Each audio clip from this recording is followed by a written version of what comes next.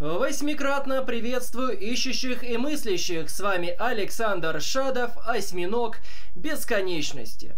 И сегодня мы с вами рассмотрим одну из моих книг. э, Это из, э, из ортогра...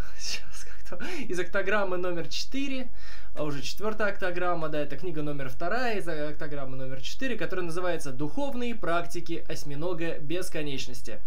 А, да, мое учение, помимо скептицизма, помимо других а, аспектов, помимо герменевтики, включает в себя еще и духовные практики, а, которые, в принципе, расписаны в данной книге. А, давайте-ка посмотрим, что у нас тут есть. Эта книга поможет стать творцом, философом, плюралистическим мыслителем, герменевтом, скептиком и так далее. А, только вы сможете решить, на каком из уровней остановиться. А, вы держите в руках книгу, которая поможет раскрыть ваш бесконечный интеллектуальный, творческий и духовный потенциалы. Вот такая вот такая вот у нас такая аннотация интересная. А, довольно-таки, да, большая такая аннотация. А, все практики, их 64, соответственно, ну, как и должно быть все-таки, да, как и должно быть э, в мире осьминогов, все кратно 8. Их 64 практики, и они делятся на э, 8 таких подструктур, которые были обозначены словами щупальца. А, ну и, в общем-то, щупальца бывают такие знания, воображение, творчество, философии, плюрализма, безразличие, понимание, сомнения. А, соответственно, они идут от самого простого к самому сложному. А, притом последние два уровня понимания и сомнения, они уже настолько высоко находятся, что они в принципе дополняют друг друга. Мы увеличиваем наше понимание, развивая сомнения, с другой стороны мы увеличиваем наше сомнение, развивая понимание. А, вот такая вот взаимосвязь здесь имеется. А в остальном мы сначала идем по, по ступени знания. Знание самое простое. После знания мы развиваем воображение. А, воображение развивать, ну, тоже не очень-то и сложно. Следующее – это творчество. Мы учимся делать что-то новое. Еще сложнее, мы учимся не просто делать что-то новое, мы учимся мыслить что-то новое уже на следующей ступени. А, вот, щупальце плюрализма – мы учимся не только мыслить что-то новое, мы учимся мыслить бесконечное множество чего-то нового. Помимо всего этого, на следующем шаге следует снять различия. То есть не должно быть различия между того, что мы придумали и придумал кто-то другой.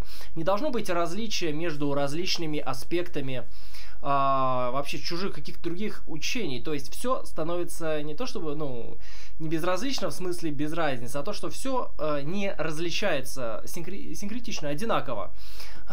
то есть одно учение равно другому учению. И в этом смысле это уже ну, ступень... Э, это нижняя ступень перед скептицизмом, так скажем. А, пройдя через безразличие, мы уже дальше можем двигаться к пониманию и сомнению. Да, щупальца перетекают одно в другое, потому путь надо начинать с самого начала.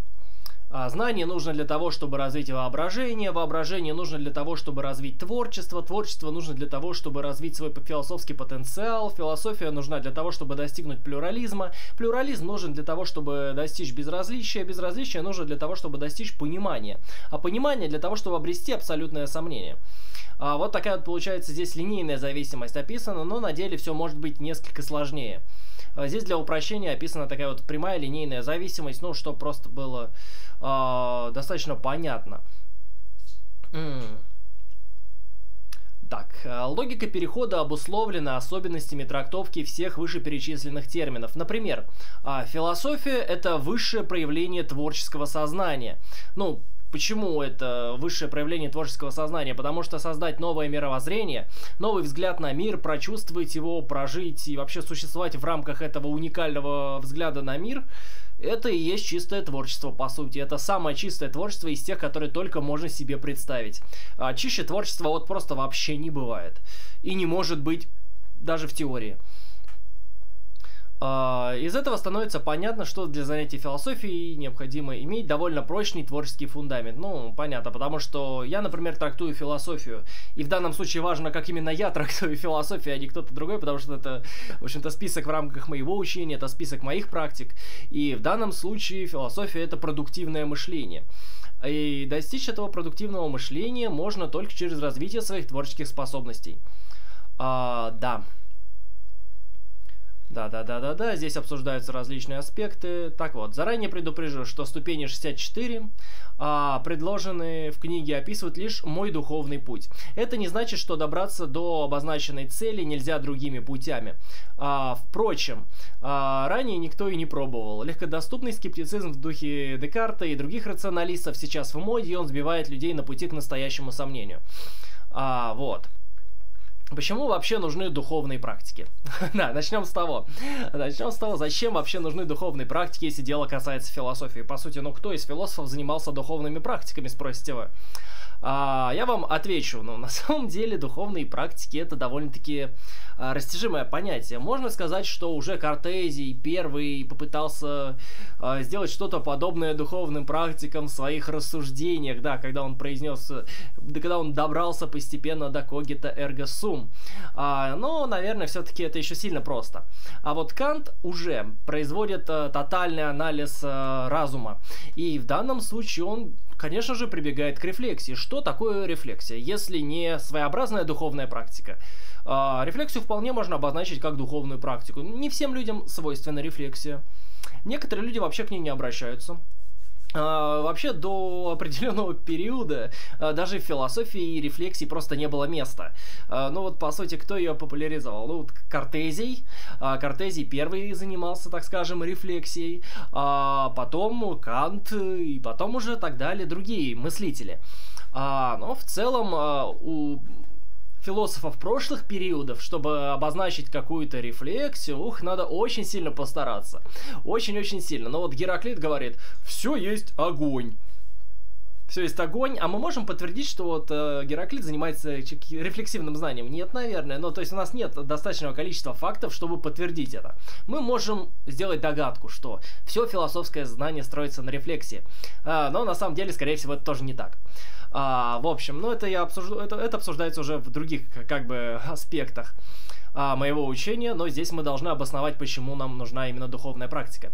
Так вот, Картезий, Кант занимались а, но есть еще одно такое замечательное, очень интересное учение, которое называется феноменология. Так вот, феноменологии, по сути, мы занимаемся духовными практиками. А, ну, если бы буддисты увидели вот эту вот феноменологию, они бы сказали, ну, мы тоже занимаемся чем-то таким. Ну, по сути, это что-то вроде йоги получается, тоже созерцание, а, созерцание с очищением, ну, э, то есть тут вопрос уже трактовки. Философии то, что некоторые называют духовными практиками, конечно же, есть. И, в принципе, трудно представить, что его не было. Также духовные практики были развиты в неоплатонизме.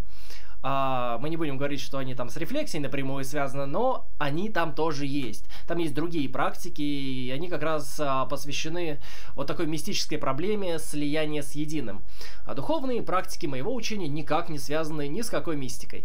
А, здесь вам не будет никакой нирваны, не будет никакого единого объединения с целым миром, тоже не будет. Дело в том, что итоговое состояние, то есть сомнение, а сомнение я трактую исключительно как состояние, причем состояние, которое довольно-таки трудно удержать. Так вот, это состояние, оно достигается очень кропотливым и длительным трудом, и человек постоянно из него выпадает. А, то есть человеку может казаться, вот я такой замечательный, я такой скептик, я во всем сомневаюсь, а на самом деле он не сомневается толком-то ни в чем. А все его утвердительные положения, ну, они чисто догматические и это никак не исправить. А, и вообще, сомнение требует очень большого контроля над собой. И в этом смысле, если человек поставил целью достигнуть сомнения, настоящего сомнения, ему непосредственно, ну, просто обязательно нужно прибегнуть к каким-то духовным практикам, которые дополнят это сомнение. А, потому что иначе он просто выпадет из него, просто откажется, уйдет, а, будет думать, что он сомневается, но на самом деле не сомневаться, будет принимать какие-то ложные положения на веру, но при этом вот как бы будет верить, что он скептик, и так делает большинство людей. А, теперь а, вот вам система, которая поможет добраться до этой немистической цели. Та-та-та-та-та. Да, относительно последовательности. Все ступени могут меняться местами. Все содержания внутри, особенно вот этих вот щупалец, щупальца-то они, в принципе, логически расположены от легкого к более сложному. Их менять не рекомендуется. А вот внутри щупалец менять какие-то вещи и даже удалять их вполне так себе можно. а, в данном случае духовные практики, и в это, это в книге будет сказано еще много-много раз. они подразумевают сознательность. Если человек, э, в общем-то, практикует э, то, что написано в данной, в данной книге, он э, должен сам адекватно оценивать, прошел ли он ту или иную ступень или не прошел, стоит ли ему вообще проходить эту ступень а, ну, насколько это для него важно, либо не стоит. 64 а, ступени это действительно много. И некоторые из них могут оказаться лишними для того или иного человека. Ну вот, например, вот, ну не можете вы рисовать, ну не получается у вас рисовать, а там будут практики, связанные с рисованием, так своеобразная арт-терапия, арт-практики. А, и что вы будете с этим делать? Может быть, вам лучше попробовать тексты пописать больше, и это в большей степени проявит ваши творческие способности, и только тогда вы сможете двинуться дальше. Ну вот, например, вот так. Э, у вас, у вас должны быть какие-то критерии оценки самого себя внутри даже практик. Эта книга не является 100% догматичной, здесь не надо следовать вот по всем ступеням, это просто хороший пример того, как надо бы. А вы уже в соответствии с содержанием данной книги можете решать, что нужно именно конкретно для вас. Давайте теперь перейдем от рекомендаций. Рекомендации, может быть, когда-нибудь книжка, когда выйдет полностью, вы их все прочитаете. Сейчас мы пойдем по, по конкретно щупальцам. А, первое щупальце, интересно, а, это щупальце знания. Так, ну, знание, знание, знание, со знанием все понятно. Давайте просто кратко опишем, э, рассмотрим каждое щупальце и все ступени, которые в нем присутствуют, и на этом, в принципе, закончим, потому что на больше у нас времени не хватит. А, первая ступень — это исследование мира и обретение опыта. Вот эта ступень доступна практически всем, э, то есть даже с детства, но она просто нужна. Нельзя быть незнакомым с миром и не иметь никакого опыта, и при этом пытаться претендовать на понимание и позже уже, соответственно, на сомнение.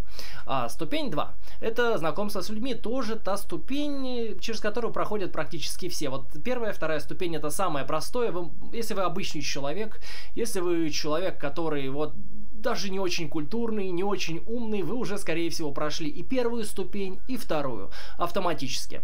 Если вам чего-то из этого не хватает, ну, надо восполнить. Ступень третья. Чтение билетристики. Это самая простая литература, билетристика, художественная, художественная литература, а, включая Достоевского, включая Толстого. Это действительно простая литература, не очень нагруженная философскими смыслами. А, она развлекательная по преимуществу. Вы там вычитываете какой-то сюжет, какие-то эмоции, у вас какие-то сопереживания а, возникают. И в основном чтение билетристики давит на различные эмоциональные аспекты вашей, в общем-то, сущности. И эмоции это самое простое вообще, что есть во внутреннем мире человека. И именно поэтому билетристика э, находится на третьей ступени. Вы читаете билетристику, знакомитесь с классикой или даже не с классикой, можете читать современников, ну просто вот иметь какой-то багаж такой начитанный, чтобы он у вас был. Э, и это вот тоже подразумевается в ступени знания. Чем больше эта ступень, тем больше ваш фундамент. А, ступень четвертая. Конечно же, чтение религиозной литературы. Религиозной литературы намного больше, она серьезней, она интересней, и религии при этом очень много. А тексты тех же самых буддистов, допустим, ну, они просто колоссальные по размеру. А, да. Ну, например, христианс... христианские тексты. Библию, она тоже очень большая, но она не настолько большая, как тексты буддистов, потому что у буддистов нет единого канона, единой как бы священной книги. А, трепиток это грамма громадное собрание сочинений, в котором вот, э, ну, просто творится нечто невообразимое. Это тексты вообще разнородные, совершенно разные. Это не притчи. Э, ну, собственно, в Ветхом Завете вы наблюдаете то же самое, там тоже много разнородных текстов имеется. А, но буддийские тексты Трепитака еще более разнообразны. А, также, ну, существует не только буддизм, а, существует не только христианство, есть еще ислам, а, есть еще другие религии, иудаизм, в принципе, да, можно Библию тоже прочитать, тоже будете уже немножко осведомленными. Есть тексты Кабалы, есть тексты джайнов, тексты даосов, я не знаю, у -у -у. чем больше прочитаете религиозной литературы, тем тоже лучше. Ступень 5. Чтение научной литературы, оно обязательно. Причем непосредственно научной литературы. Не каких-нибудь там э, дешевых, э, бессмысленных научпоперов, которые, ну, по сути, многие сами не понимают э, основных положений науки, не понимают научного метода. Ну, читать серьезную научную литературу очень и очень хорошо. И это будет происходить на пятой ступени. И тогда вы обретете когда-нибудь соответствующее знание. Ну, например, вы можете почитать того же Менделеева. Или можете почитать того же Дарвина в первоисточнике. Почему бы, например, и нет? А почему вы должны слушать о Дарвине из уст людей, которые сами его, скорее всего, не читали? А, вот эти вот науч-поп, вот эти персонажи, которые, ну, скорее всего, не читали Дарвина, Ньютона не читали. Но будут рассказывать вам про гравитацию, про эволюцию. Они все про нее знают, но на самом деле ничего. так вот. А, вот эта ступень пятая очень интересная. А ступень шестая – это чтение, конечно же, философской литературы. Философская литература – это следующая ступень определенно, потому что она значительно сложнее билетристики, значительно сложнее религиозной литературы, значительно сложнее даже научной литературы. Научная литература легче философской в том плане, что она составлена по определенной, заведомо известной уже ученым и людям, которые ее читают, логике. Там есть определенные доказательства, выполненные в одном определенном типе. А есть определенные данные, которые воспринимаются, ну, в принципе, а, одинаково. А, так вот, есть в конце выводы, есть впереди еще аннотация, и в этой аннотации обычно вот автор либо статьи, либо книги умудряется сформулировать даже свои выводы. Порой, порой даже свои выводы умудряется сформулировать, и мы как бы получаем, мы можем даже не то чтобы не читать научную литературу, мы можем познать э, сущность выводов научной литературы просто по аннотациям. А, что, кстати, крайне забавно. С философией такой подход не работает вообще в принципе. А, философия э, не держится на каком-то одном типе доказательств. А, философия не держится на одном каком-то типе размышлений, и поэтому она более многообразна, чем а, наука. И философская литература значительно куда более многообразна, чем, а, в общем-то... так, сейчас, подождите. Окей. А, так, чем литература научная? А, ступень седьмая – это чтение книг Александра Шадова буквы. Вот именно по той причине, что а, в моих книгах разбирается уже философия и ортодоксология – это теория о мнениях, и о мнениях в том числе философии, в науке, в религии, в билетристике и так далее, так далее, так далее. Разбираются мнения вообще, и это как бы а, такое такой вот обзор всего, что было, и выводы из всего вот этого. Чтение книг Александра Шадова нужно именно после всего, всего вот этого вот пройденного, как раз именно потому, что нужно сначала знать, а, знать, о чем говорится в этих книгах. Ну и потом э, ступень э, восьмая, это уже работа с возможностями. А, то есть предсказывать различные возможности, это тоже интересно. Вот это вот все. Ступень 1 Ступень 2, ступень 3, 4, 5, 6, 7. Это все актуально. Это то, что существует уже сейчас. Это то, что вы сами можете увидеть, это то, с чем вы можете познакомиться. Это вы можете взять книгу, можете ее скачать, можете ее прочитать. А, но а, все это актуальное, но есть еще и возможное. Возможно, то, что могло бы быть, и поразмышлять об этом, при том очень хорошо поразмышлять. Можно на базе, кстати, в том числе и произведений моих, а, потому что они дают тоже хорошую базу для этого, и поэтому, ну, ступень седьмая идет перед ступенью восьмой, и, ну, здесь тоже логическая связка имеется. Ну, вот, вот такая вот э, размышление о возможностях дает нам понять, что есть куда больше, чем мы уже прочитали. То есть все, что мы знаем, даже мы, мы очень много, допустим, прочитали, огромное количество билетристики, огромное количество ли, религиозной литературы, научной, философской, и в итоге все вот это вот оказывается малой частью из того, что могло бы быть. И только таким образом мы можем, в принципе, пойти, прийти к определению мнения, к пониманию того, что есть философия. Потому что философии тоже может быть бесконечно много. Что такое наука? Науки может быть бесконечно много. И религия что такое? Потому что религии тоже может быть бесконечно много. И каждая религия внутри себя может дробиться на бесконечно э, малые частицы. Э, и в этом смысле все это мы должны как-то познать. А как это делать? будет разобрано тоже в этой книге, и мы сейчас все это пропустим, пропустим, пропустим, ну, потому что э, не все же сразу вам рассказывать, да? Мир обретения опыта. Вот тут, как кстати, все делится в книжке интересным образом. У нас есть цель, сущность э, метода, э, ступени, цель, средства, которыми оно достигается, путь, результат, аргументация, то, что нужно, ну, тоже аргументировать, зачем это вообще нужно. Ну, иногда пишу, аргументировать здесь нечего. Ну, неважно. И рекомендации различные от меня. Потом переход на следующую ступень, он тоже должен осуществляться при каких-то условиях, они здесь прописываются кратко. Почему кратко? Потому что пока что эти практики прошли а, опытную проверку только одним человеком мной. А, если бы были другие люди, которые прошли через те же самые практики, я бы мог уже делать какие-то другие более практические выводы и, соответственно, приписывать какие-то вещи, какие-то другие рекомендации, через которые люди, в общем-то, пройти не смогли, либо какие-то у них трудности были, как избежать трудностей и так далее, так далее, так далее. Сейчас мы перейдем к второму щупальцу. Так, давай, давай, давай, давай. Ой-ой-ой-ой. Что это? Что это такое? Мужского бытия, эмоциональные. Дальше представим. Ладно, ладно, ладно, ладно. Я пока сам не понимаю, что это такое. Я давно писал эту книгу в прошлом году, и, и вот табличку я даже забыл, представляете? Переход к щупальцу воображения. Вот она. Вот оно, второе щупальце. Второе. Вот его ступени. А, первая ступень воображения – это репродукция. У нас ступени будут внутри воображения делиться на два пункта репродукция и продукция. Репродукция это повторение чего-то. Ну вот, например, самое простое репродукция предметов. Представьте у себя в голове чашку. Представьте в своем воображении чашку. Вот она у вас в голове где-то там находится. И вот представляете, вот она чашка, чашка, чашка, чашка, чашка. Это репродукция. Вы представляете какую-то уже существующую чашку, а, либо чашку немножко новую, но в принципе соответствующую чашности, так скажем. А посложнее это репродукция людей, причем людей, которых вы знаете. А, да, а, именно репродукция, потому что повторение, а, повторение и воображение с этим тоже связано. У воображения есть как репродуктивный аспект, так и продуктивный. Это я тоже, кстати, разбирал в своих лекциях, посвященных воображению. А, ну и это я тоже использую в своих э, практиках.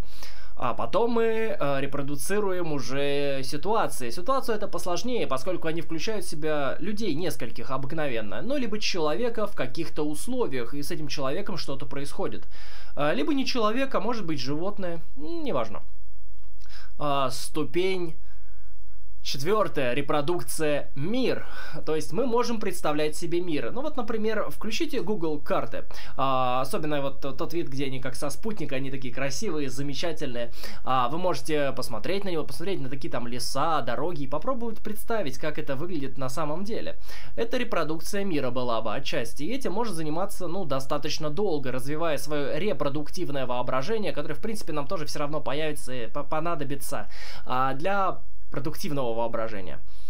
А, ну и дальше мы повторяем все то же самое, только с точки зрения продукции. Предметы. Мы можем придумывать совершенно новые предметы, которых никогда не существовало. А также мы можем придумывать людей и характеры, которых никогда не существовало. Я это использую в том числе для написания романов.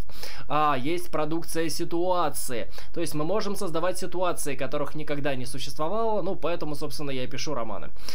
Продукция мира. То есть э, создание миров. Это последняя наша вот ступень в рамках воображения, и мы ее тоже должны будем пройти в рамках этих практик. И только потом, только после создания литературных миров, мы попробуем э, приступить к чистому творчеству. Все это как бы ступени, к, с помощью которых мы подходили к чистому творчеству. А, дальше, вот, кстати, вот здесь очень сложные какие-то, видите, а, методы идут уже внутри. Внимательно смотрите предмета для репродукции. Исключите его со всех сторон. А, изучите его со всех сторон. Запомните все, что только можете запомнить, чтобы потом это воспроизвести. А вот так вот работает репродуктивное воображение. И вот тут просто огромное количество каких-то упражнений, связанных а, с репродуктивным воображением. И с продуктивным воображением вообще совсем с чем только можно. В общем, здесь очень хорошо будет прорабатываться ваше воображение, если вы хотите развить воображение в принципе принципе. Если вам не интересно сомнения, если вам не интересны все остальные пункты моего учения, вы можете просто обратиться к этому тексту, чтобы развить свое воображение и творчество, первые две ступени. И не двигаться, в принципе, дальше, это уже будет для вас полезно, как для творца, вы уже сделаете колоссальный шаг вперед, на мой взгляд, если вы все это изучите и все это попробуете. Так, так, так, так, так, так, так. Творчество, третье щупальце, по посмотрим, что у нас тут. А, здесь имеется 8 ступеней. А, первая ступень – развенчание мифов о творчестве. да. А прежде всего мы должны понять, что творчество – это создание чего-то качественно нового. А, ну, то есть, почему я, например, считаю стихотворение Александра Сергеевича Пушкина не творческими? А, ну, скорее всего, он просто даже и не помышлял о том, что это творческое, он просто производил определенную работу а, по копированию и, в общем-то, подражанию западным авторам. Ну, поскольку он был одним из, так скажем, одним из первых, ну, уже в некотором поколении, конечно, но он был одним из первых таких крупнейших поэтов в России, и поэтому ему приходилось очень много-то, на самом деле, копировать, потому что до этого поэзии как таковой особо-то и не было. Были учителя, конечно, у Пушкина, были, был Жуковский, был еще Ломоносов до этого был, потрясающая, в общем-то, плеяда, и все они занимались по преимуществу, по преимуществу копированием. Это творчеством не является. А также творчеством не является какое-нибудь э, ремесло, там, по произведению сапог, там, не знаю, созданию различных там а, каких-то стандартных действий. Также большинство, наибольшее количество изобразительного искусства, которое делается по образцу великих мастеров, это тоже не творчество, ничего общего с творчеством это не имеет, это искусство. Может, может быть это искусство, но это не творчество, потому что не производится что-то качественно новое. Не обрабатываются новые темы, через творчество это не продвигаются новые мысли. Это все работает стандартно, примитивно, ну, то есть с точки зрения новаторства здесь ничего нет. А творчество, оно другое. Оно именно творческое. Оно создает что-то качественно новое. И когда мы научимся делать вот это вот качественно новое, и на этой ступени мы будем учиться делать качественно новое в разных искусствах, в том числе даже в ремеслах, в которых тоже можно вносить какие-то творческие элементы. А, вот, и вот -то только тогда, тогда мы пройдем эту ступень. А, также, да, мы будем учиться здесь э, творчеству, именно созданию качественно новой поэзии, созданию качественно новых каких-то ремесел, каких-то, вот, в общем-то, предметов, видимо. А, изобразительное искусство тоже будем делать качественно новые предметы изобразительного искусства. А, потом еще более сложное кино и мультипликация, то есть э, то же самое, только в движении. А, видеоигры то же самое, это еще более сложное искусство, более комплексное. А, возможно, да, будем учиться делать даже видеоигры, если будут определенные, в общем-то, ресурсы. Я сам в свое время а, занимался изготовлением простых видеоигр, и это тоже, ну, забавно, интересно и очень хорошо развивает воображение и мышление. А... Так вот, а, на седьмой ступени у нас будет а, проза. Так, сейчас, простите. Так, проза. Проза это на самом деле самое сложное. Многим может показаться, что нет, но на самом деле проза это очень большой жанр, в котором нужно много всего учитывать, и он, он требует от вас непосредственно воображения. Практически все виды вот этих вот искусств, даже изобразительное, они во многом зависят от прозы. Проза прописывает, проза записывает, проза диктует. И чтобы грамотно все диктовать, чтобы соответствовать определенной сложности, а, да, нужно очень сильно постараться. И ступень седьмая, она одна из последних последних именно поэтому. А, так, на ступени восьмой уже речь пойдет о, об абсолютной фантастике и создании миров. А, то есть, что тоже, опять же, соответствует определенному, это определенным творческим критериям. То есть, творец может создавать плюс ко всему еще и миры. Причем эти миры не обязательно должны быть примитивные, по наподобие Толкина, они наоборот не должны быть такими. А, когда человек достигнет так, такого уровня, когда он перестанет копировать Толкина, а, что делают, например, многие современные писатели, включая Мартина, включая, а, в общем-то, Сапковского и менее интересных, менее значимых фантастов, а, не знаю, там как-то Сервантес вроде вообще примитивный, вообще отстой какой-то отвратительный, э, который вообще никак на фантастику не тянет. А, так вот, когда будет возможность сделать этот новый качественный шаг фантастики, создания миров, персонажей, вообще условий мира, вот тогда можно будет перейти на следующую ступень. А, то есть, разобравшись творчеством, сотворив много-много всего, у нас появляется э, возможность, э, вот, тут, тут вижу предрассудки разные э, опровергаются. Так, что здесь у нас? Советовал, ну, да, да, да, да, да, да, да. Так вот, есть банальные произведения, банальные произведения с интересными находками, это уже деление такое внутри, интересные произведения со значительными находками, уникальные произведения и уж совсем уж творческие произведения. А, добраться до пятого уровня в каждом искусстве это вот прям великая цель а, в этих практиках, но, наверное, это все-таки не обязательно. Нужно просто понять, понять, что и как. Так. Как много практик. Так, сейчас, сейчас, сейчас. У нас будет уже скоро, скоро, скоро. Ох, проза. Да, большая книжка. Сейчас, сейчас узнаем.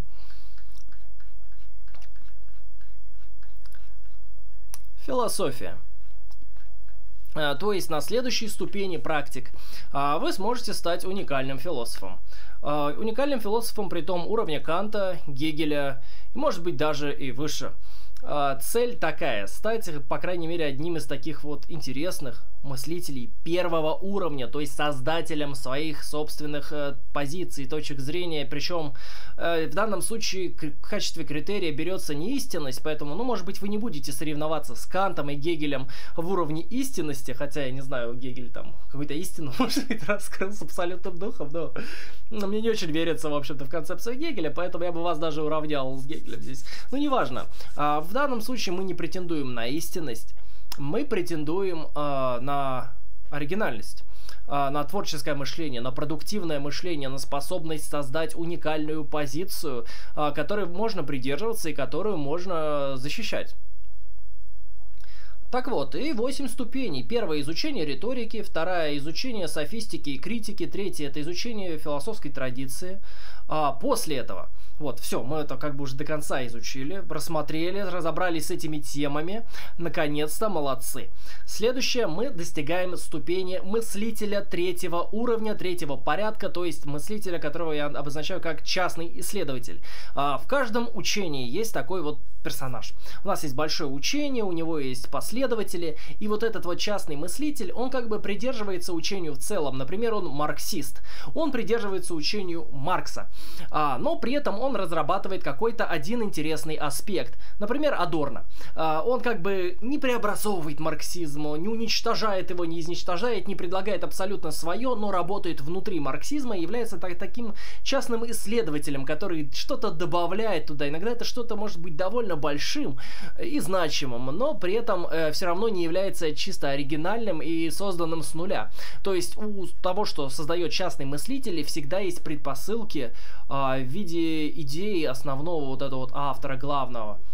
А, так вот. Так. А. Потом преподаются основы философской комбинаторики после этого. Ну, потому что до этого э, эти основы нам были, в принципе, не особо нужны. А, да. Преподаются основы философской комбинаторики, чтобы на шестой ступени перейти к уровню уже мыслителя к второму уровню, в общем-то, мыслительному. Это уровень эклектика. Uh, уровень эклектика это когда мы из разнородных частей можем собрать своеобразное учение. Причем для соединения частей нам необходимо проявить определенные творческие какие-то усилия, потому что части-то они не особо соединяются ну, сами собой. Они просто есть. Uh, и вот эти вот части учений разных людей, они, их надо обосновывать, их надо доказывать. Иногда из Э, в общем-то, осмысление вот этих вот э, соединений этих частей, возникают какие-то сложнейшие элементы, и постепенно учение нарастает, и получается нечто вот совсем необычное. Например, учение марксизма — это определенно чисто, это, эклектическое учение. Оно совмещает в себе материализм, который определенно был до Маркса. Оно совмещает в себе диалектическую э, логику Гегеля, который тоже определенно была до Маркса, а также социалистический утопизм, который тоже был до Маркса. Э, то есть получается эклектика. И Маркс в данном случае мыслитель второго уровня, он эклектик, по моему делению, по делению, э, которое ведется вот именно по критерию творчества новаторства. А, вот. На седьмой ступени мы уже идем дальше и думаем о том, а, а как, откуда берутся эти элементы, которые соединяют эклектики. И, и мы проходим основы созидания. Плюс ко всему мы уже научились творчеству до этого, воображение развили, и вот эта ступень должна даться нам не так уж и трудно, я думаю. И потом мы уже переходим к самой первой ступени мышления, то есть к мыслителю первого уровня, то есть создателю, создателю этих самых элементов, которые потом эклектики уже будут как-то комбинировать, и потом уже вот эти вот частные исследователи будут работать в рамках эклектических, либо чисто созданных каким-то мыслителем парадигм. А, вот, такая схема. А, мы пройдем по вот этим вот ступеням, разовьемся, и уже потом, уже потом э, двинемся дальше. Такс. Так, так, так, так, так. Сейчас, в общем-то, что у нас тут? Да, вы познакомились с софистами и с их философией. Это тоже, кстати, важно. Так. Большая-большая-большая книжка. Хм. Таблица из трех элементов. О, основы философской комбинаторики из таблиц.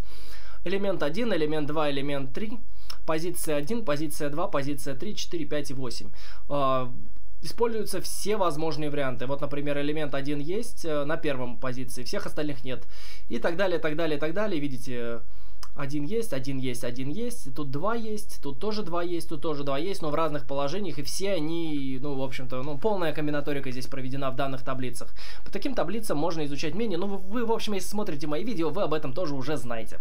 А, все здесь тесно связано, все переплетено, и все хорошо работает. Продолжаем. Ту-ту-ту-ту-ту-ту-ту. Сейчас, сейчас, сейчас. Вот. А, щупальце номер пять. Плюрализм.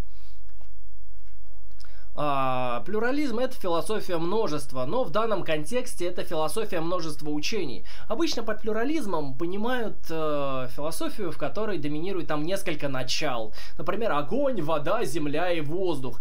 Это называется такой вот натурфилософский плюрализм. Но я подразумеваю здесь именно плюрализм учений. Ну, то есть... Э, идею, которая подразумевает, что учений может быть много, и при этом бесконечно много, и они все сопоставимы друг с другом.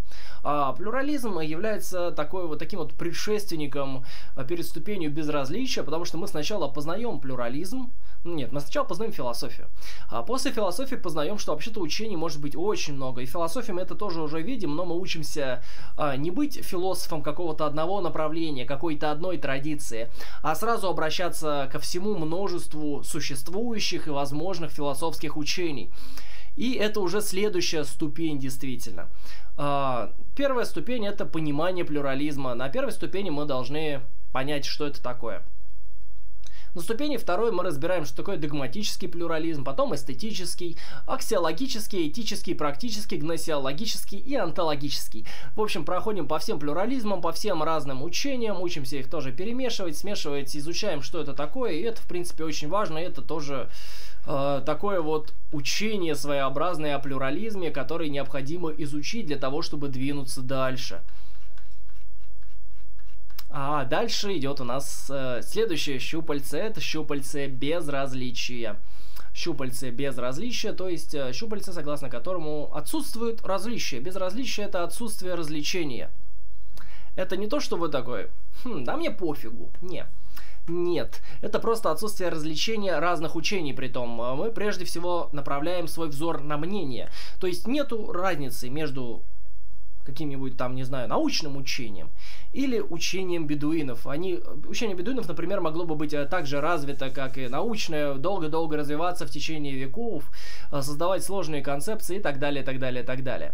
И вот там идут уже другие свои ступени. Это практика разочарования, практики скуки, практики перенасыщенности, практики лишения, практики пустоты, философия забвения. У меня, кстати, есть книжка, которая называется «Забыть всех», а, с отсылкой на текст Бодрияра «Забыть Фуко», но Бодрияр забывает только одного Фуко, я забываю последовательно всех философов и религиозных, политических и многих других деятелей.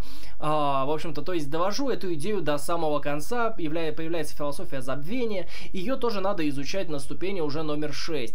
Дальше идет ступень очищения, и в самом конце достигается истинное безразличие, когда нет разницы, а, что вот за учение вокруг, вот у нас есть два учения, и нет никакой между ними разницы. Одно могло бы быть более доказано, либо другое. А, все это как бы дискуссионно, И все это не является абсолютом. То есть, если одно учение сейчас доказано лучше, чем другое, не значит, что оно впоследствии э, так и будет оставаться самым доказанным в мире. Э, скорее всего, это будет не так. И также, скорее всего, когда-нибудь появится учение, которое его превзойдет. Предпоследнее щупальце, седьмое. Понимание – и здесь мы а, уже проходим практики понимания. Вот мы уж, у нас в голове колоссальный массив из различных практик, которые мы, кстати, должны еще периодически повторять, чтобы не забыть, чтобы не потерять навыки. А, но это еще не все. Это еще далеко не все, потому что дальше идет самое сложное и самое, в общем-то, мозговыносящее. А, мы должны развивать свои способности к пониманию. А способности к пониманию, то есть вживанию, понимание в ортодоксологии понимается как вживание. А, то есть способность копировать определенные, а, в общем-то, мнительные структуры другого человека. А, в данном случае мы должны создавать в себе эти самые мнительные структуры на базе нашего опыта, а наш опыт уже должен быть очень большим, судя по всему, все, что мы вот прошли в этих практиках. Наш опыт должен быть просто колоссальным к этому моменту. И вот, продолжаем. Что мы должны сделать, что развивать? Разведет развитие эмоциональной сферы. А на второй ступени мы проектируем чужие эмоции. На третьей ступени мы проектируем чужие мысли. На четвертой ступени проектируем чужой жизненный опыт. А потом уже проводим частичное вживание, на шестой ступени конструирование индивидуальности полноценное у себя в голове, то есть создаем полноценные личности дополнительно ко всему, что есть, а, пользуясь элементами тех эмоций, которые мы сконструировали до этого, и тех мыслей, которые мы сконструировали до этого, и чужого жизненного опыта, который мы тоже сконструировали до этого у себя в голове с помощью воображения с помощью других наших, в общем-то, а, способностей и ресурсов. А, вот.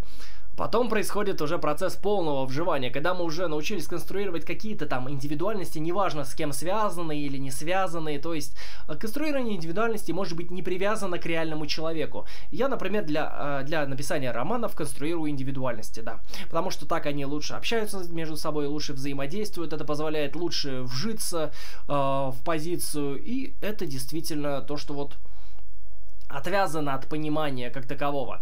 Но при этом при, у конструированной, сконструированной личности мы можем понять вот абсолютно все, что в ней есть. То, что мы сконструировали, сконструировали сами, оно доступно нашему пониманию, но недоступен другой человек. И потом на седьмой ступени мы уже пытаемся провести полное вживание. С ним трудно, с ним практически невозможно. Его крайне трудно подтвердить, но мы пытаемся это сделать, потому что у нас уже есть все ресурсы для этого. А, у нас очень много различных эмоциональных состояний, они доведены до предельных, в общем-то, степеней. То же самое с мыслями. Мы можем, в принципе, принять любую мысль, любую идею. Ни одна идея не вызывает у нас каких-то предрассудочных а, таких состояний. Мы не презираем чужие мысли, все для нас безразлично. А, любая мысль является, в общем-то, равной другой мысли, и в данном случае мы можем понять их все. Мы не ставим никакой разницы, не видим никакой разницы между двумя различными системами мыслей. То же самое с жизненным опытом. А, можно уже спроецировать весь жизненный опыт по элементам, можно представить, можно вообразить, можно создать искусственные воспоминания и так далее, так далее, так далее. Методов очень много, и они действительно затрагивают прямо вот э, крайние такие части духовного мира человека. Во многом даже вот все вот это вот может граничить с безумием, потому что уже начиная вот с щупальца понимания мы проводим такие практики, которые за всю историю философии не проводились никем. И за всю историю религии, включая буддизм, они не проводились никем и, наверное, не могли быть проведены э, до определенного этапа исторического развития, наверное, все-таки. Э, и на восьмой ступени достигается высшая ступень понимания. Понимание, конечно, в основном здесь э, воспринимается как стремление к пониманию, подтвердить его довольно сложно и так далее, так далее, так далее. Если вы смотрели мои видео, вы, в принципе, все это тоже понимаете, э, тоже можете понять, что я имею в виду. А, так, да-да-да-да-да, очень много практик. Ну все, мы, получается, дошли до самого конца. И презентация книжки на этом может быть уже практически закончена. Щупальце 8. Сомнение. Сомнение это важнейшее состояние, которое мы э, пытаемся достигнуть и удержать на протяжении духовных практик в данной книге. А, да, мы уже касались этого состояния на степени безразличия, но теперь дело по, речь пойдет о серьезном сомнении. А, да, на первой ступени нужно вообще-то различить, что такое, с одной стороны, сомнение, а что такое несомнение. А на второй ступени мы уже будем разбирать, что такое частное сомнение. То есть первая ступень мы просто различаем. У нас есть догматизм с одной стороны, а с другой стороны у нас есть э, скептицизм. А что это такое? В чем разница? А, почему, почему в одном случае у нас нет убеждений, Почему в другом случае у нас есть убеждения? То есть мы начинаем заниматься, с одной стороны, дексологией, а с другой стороны, понима... учимся отличать а, людей, вообще учимся отличать, как у нас внутри это происходит, когда у нас нет убеждений, с одной стороны, и когда они есть. А, также мы будем рассматривать, что такое частное сомнение. Ну вот, допустим, а, есть у нас научные скептики. Они не являются скептиками, в принципе, потому что они не распространяют принцип сомнения на все области своего исследования, на все области своей жизни, на все области своего мировоззрения. А вот наука из, в общем-то, из списка сомнений выпадает у них но при этом они могут э, похвастаться частным сомнением. Так же, как и христиане могут похвастаться частным сомнением, мусульмане могут почас, похвастаться частным сомнением, буддисты могут похвастаться частным сомнением. Э, то есть, всякое мировоззрение в мире сомневается во всех других мировоззрениях, и это и есть частное сомнение во многом. А также в том числе частным сомнением является сомнение, ну, не знаю, в любом каком-то убеждении. А, при этом мы, мы вполне можем не сомневаться в других наших своих убеждениях, но можем вдруг так подумать, а вдруг вот это вот мое убеждение сомнительно. Или вот, друг, вот ты сейчас высказал идею, и мне кажется, что она сомнительна. Это проявление частного сомнения, и никакого отношения к скептицизму она не имеет. А, Потом идет третья ступень, и мы постигаем категории возможности, вероятности и случайности. Мы это уже делали, но теперь повторяем это на новом уровне, на совершенно новом качественном уровне. Потом мы постигаем следующую ступень сомнения. Это вероятностное сомнение, это сомнение а, академиков Платоновской, в общем-то, школы, Платоновской академии среднего периода. Вот то самое, когда э, философы э, предполагали, что истина недоступна, а, напрямую. То есть мы не можем сказать, что истина, что ложно, но мы можем при этом сказать, что вероятнее будет истинным, а что вероятнее будет ложным. Такое сомнение тоже не является максимальной степенью сомнения. Оно, так скажем, а, содержит в себе догму вероятности а, и догму того, что мы можем вообще как-то предполагать эту вероятность. Вот. И из этого, конечно же, следует, что мы должны двигаться в своем сомнении дальше, глубже, изучать его еще, в общем-то, основательней. Поэтому мы движемся к ступени номер 5, и это углубление сомнения. Через степень углубления сомнения мы проходим еще дальше, на ступень номер 6, к античному сомнению школы, в общем-то, пероновцев, скептиков, к абсолютному скептицизму, в котором все убеждения подвергаются сомнению. Нет никакого убеждения, которое бы сомнению не подвергалось подвергалась, кроме некоторых случайных, правда. А, но это я тоже разбираю в отдельных статьях, и, скорее всего, в процессе практик неплохо было бы это тоже разобрать, но сейчас об этом говорить не приходится, в общем-то. Все, и дальше мы движемся к кардиотоксологическому сомнению. Следующая ступень, самое абсолютное сомнение, выбивающееся, в общем-то, из всех границ. На седьмой ступени мы постигаем бесконечное сомнение в самом сомнении – то есть само сомнение всегда подвергается сомнению. То есть мы не можем до конца убедиться в том, что мы сомневаемся. Э, и в том, что то, в чем мы сомневаемся, заслуживает сомнения вообще. Uh, более того, в отличие от античных скептиков, мы отметаем ряд их догм. То есть у нас, например, не является итоговой целью uh, абсолютное бесстрастие. Uh, безразличие, которое мы разбирали, это отсутствие различия, это не бесстрастие, не отсутствие страстей. Uh, также, в отличие от античных скептиков, следующая ступень подразумевает не то, что мы не можем делать никаких утверждений, не можем делать утверждения, плевать на утверждения. Суть в убеждениях.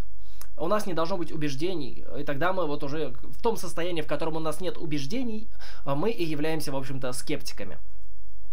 Но убеждения практически всегда есть, поэтому это состояние довольно-таки редкое.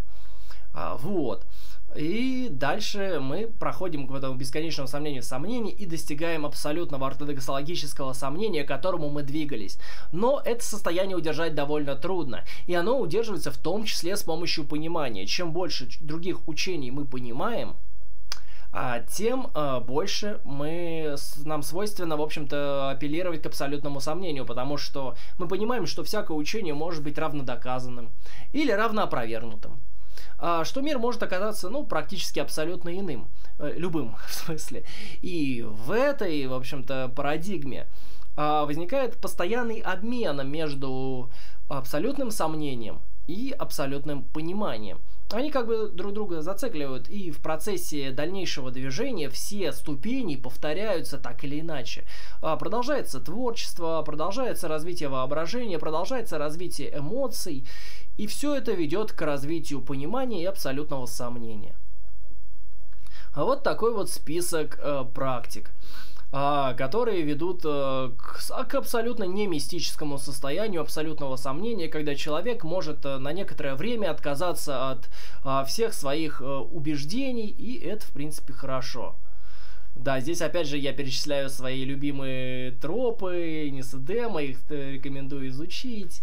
Конечно же, да. И вывода, по-моему, здесь уже нет, потому что он не нужен, наверное. 360 страничек. да. Ну, в общем-то, мы вот э, быстро пробежались по, по этому тексту. Духовные практики осьминога бесконечности. А, думаю, по этому видео, ну, я вам все равно не рекомендую что-то практиковать, а, потому что я рассказал вам не так уж и много. И чтобы приступить к практикам, нужно познать куда больше, чем я сейчас рассказал за 51 минуту. А, так вот, если что, обращайтесь ко мне, всегда буду рад э, помочь. Могу текст вам дать, могу, в общем-то, словами как-то направить. Восьмикратно с вами прощаюсь и желаю понимания.